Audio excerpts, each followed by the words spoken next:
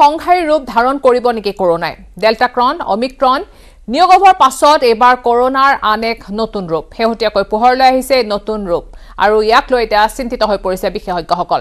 বিশ্ব স্বাস্থ্য সংস্থাৰ মতে কৰোণা ভাইৰাছৰ এই নতুন প্ৰকাৰটো অমিক্ৰণৰ বি এ টু উপ প্ৰজাতিতকৈ দহ শতাংশ অধিক সংক্ৰামক। আৰু এই প্ৰকাৰটো প্ৰথমবাৰৰ বাবে ঊনৈছ জানুৱাৰীত ব্ৰিটেইনত চিনাক্ত কৰা হৈছিল। প্ৰাৰম্ভিক ধাৰণা অনুসৰি অমিক্ৰণৰ বি এ ওৱান আৰু বি এ টু উপ প্ৰজাতিৰ সংমিশ্ৰণে হৈছে নতুন ভেৰিয়েণ্টটো আৰু বৰ্তমানলৈকে সংক্ৰমণৰ ছশটা ঘটনা নিশ্চিত কৰা হৈছে। যদিও এই প্ৰকাৰৰ ভাইৰাছৰ সংক্ৰমণ ক্ষমতা শক্তিশালী প্ৰাথমিক পৰ্যবেক্ষণ অনুসৰি এই প্ৰকাৰৰ মৃত্যু ক্ষমতা কম।